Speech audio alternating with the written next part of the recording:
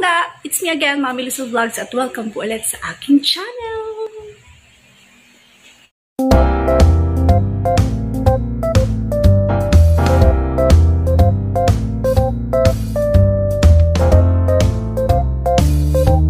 Mga pangga, magluluto tayo today.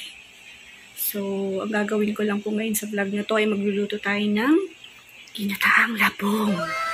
Ginataang labong sa Ilonggo ay, sa amin ha, tambo. Yun, tambo ang tawag sa amin. Pero sa Tagalog kasi is labong. So, ayun, magluluto si mami ng ginataang labong na may alimasag. Ipapakita ko sa inyo ang ating mga ingredients. Tara! At ayan, shout out po sa lahat ng mga Ilonggo, sa tanan ng mga Ilonggo dira nga nag-vlog, sa tanan ng mga vlogger nga Ilonggo, maayong aga, maayong adlaw, maayong udto sa inyong tanan. Okay.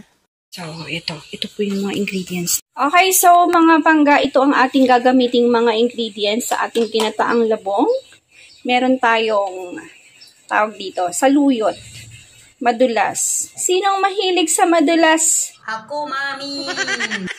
na saluyot. Alam ko ay uh, iilan sa inyo or marami din naman sa inyo yung mga hindi kumakain itong saluyot na to.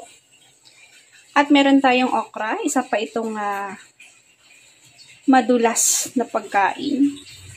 At ang importante po yung ating labong. Um, pinakuluan ko na po ito. Pagkatapos po ay piniga. Ang purpose po kung bakit pinapakuluan para matanggal po yung amoy na uh, matapang na amoy ng ating labong. At magsasahog po ako ng alimasag. Ayan. Niluto ko na rin to para hindi siya malansa. Maglalagay tayo mga pangga nitong uh, sweet corn or mais. At syempre po ang ating gata. Purong gata at pangalawang gata. At gagamitin tayo ng ginayat na uh, sibuyas. So, start na natin ang ating ginataang labong with alimasag.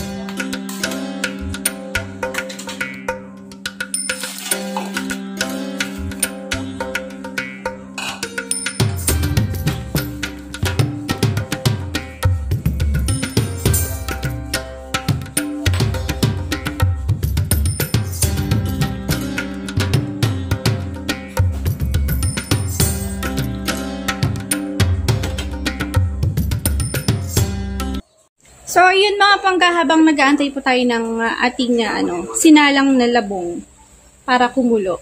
So, ayun, makikipag-chikahan na tayo sa batang ito. Ano yung nangyari sa ngipin mo? Bakit ka nabungi? Bakit ka nabungi? Ayan. Hello sa mga pangga. Hi mga pangga. Hi mga pangga. Ayan. Kung naalala nyo po doon sa nakaraang vlog ko, ako po yung nagupit nitong buhok ni Kelly. Ayan. Medyo bumalik na yung pagkakulot niya. Pero hindi naman masyadong kulot. Hmm.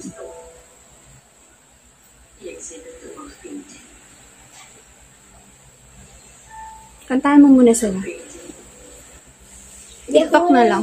Hindi ako marunong kumanta. Shoutout mo na yung mga Team Ungol. Dali, kilala mo ba? Sino yung mga kilala mo sa Team Ungol? Nakasama ni mama na friend ko. Dali. Si... Shoutout, sabi mo. Shoutout po. Shout out po kay Tita Nesh. Shout out po kay Tita Ginday. Shout out po kay Mami Lily Vlog. Shout out po kay Um, Choi TV. J Teacher TV at kay... JM Olidam. At saka kay Ate Camille at kay... At kay... Archie. Angel TV. Punctual TV. Shout out.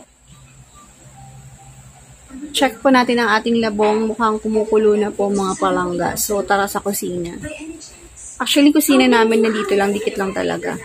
Maliit lang po itong bahay namin. Ayan. 36 square meter lang po itong bahay namin. Ayan. Sala, malit na kainan, tapos kusina. Ayan po. So, check natin. Oo, kumukulo na siya. Ayan, kumukulo na po. Halo muna natin.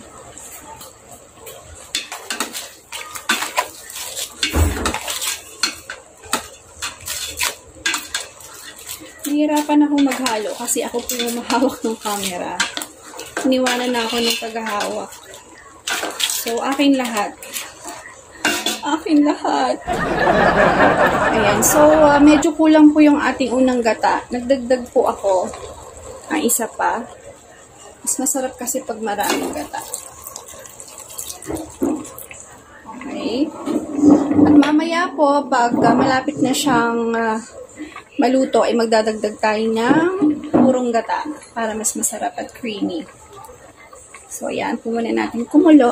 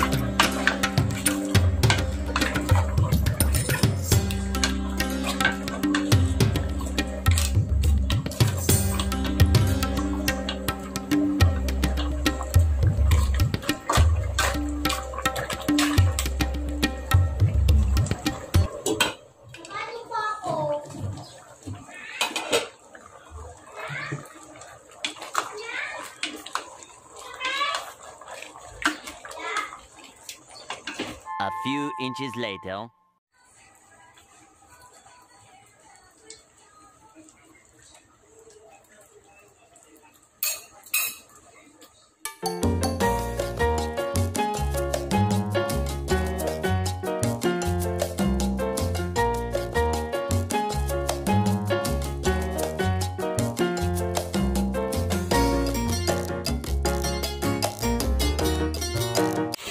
So, ayun na nga mga pangga, tapos na po tayo magluto ng ating ginataang labong na may alimasag. I hope na nag-enjoy po kayo sa paninood at may natutunan po kayo. Sa mga hindi pa po nakapag-try ng ganitong klaseng recipe, ay try nyo po. At ah, simple lang, madali lang lutuin, pero masarap. Okay?